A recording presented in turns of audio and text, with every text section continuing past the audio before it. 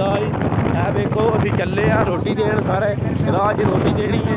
ਇਹ ਸਾਡਾ ਪਿੰਡ ਦਾ ਰਾਹ ਚੋਂ ਚਲਾਉਣ ਲੱਗੇ ਸਾਡੇ ਲੱਗੀ ਹਾਨ ਸਾਹਿਬ। ਇਹ ਖਾਨ ਸਾਹਿਬ ਦੇ। ਇਹ। ਇਹ ਜਾ ਰਹੇ ਆ ਜੀ ਇਹ ਵੇਖੋ ਆ ਗੱਡੀ ਟੋ ਰਹੀ ਹੈ ਸਭ ਬੋਲਾ। ਇਹ ਆਪਣਾ ਡਾਲਾ ਮੇਰਾ ਬਹਾਨੇ ਆ।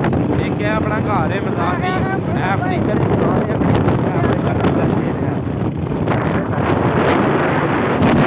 ਜ਼ਮੀਨਾਂ ਨੇ ਉੱਥੇ ਅਗਲੇ ਡੇਰੇ ਨੇ ਇਹ ਇੱਥੇ ਜਾਣ ਦਿਓ ਅੱਗੇ ਇਹ ਆਪਣੀਆਂ ਜ਼ਮੀਨਾਂ ਨੇ ਸਾਡੇ ਇੱਥੇ ਮਿਲ ਬਣ ਰਹੀ ਹੈ ਮਸਲਾ ਨਹੀਂ। ਆਪਣੇ ਪਿੰਡ ਦਾ ਰੋਜ਼ਗਾਰ ਵੀ ਅਸੀਂ ਇੱਥੇ ਇੱਥੇ ਬਣਾ ਲਿਆ। ਮਸਲਾ ਨਹੀਂ ਸਾਡਾ। ਕੋਈ ਵੀ ਹਵਾ ਨਹੀਂ ਜਾਏਗਾ ਇਨਸ਼ਾਅੱਲਾ ਇਹ ਬਿਲਕੁਲ ਆ ਸਾਡੇ ਦੋਸਤ ਨੇ ਇਹ ਸਾਡਾ ਮੁਰਗੀ ਫਾਰਮ ਹੈ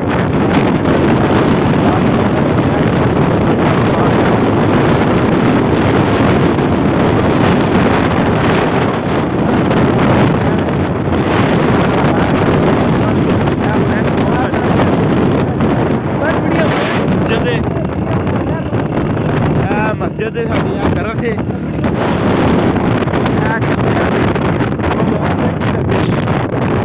ਆ ਜਾਓ ਜੀ ਆ ਸਾਹਮਣੇ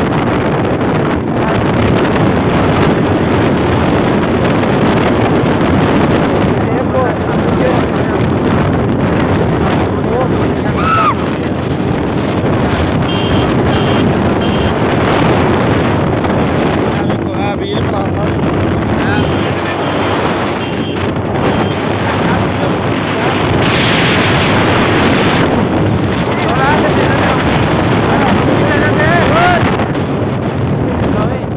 ਉਹ ਸਾਰਾ ਬਲਾਕਾਂ ਦੇ ਕੋਲ। ਕਾਕਾ ਦੇ ਕੋਲ। ਆ ਸਾਡੇ।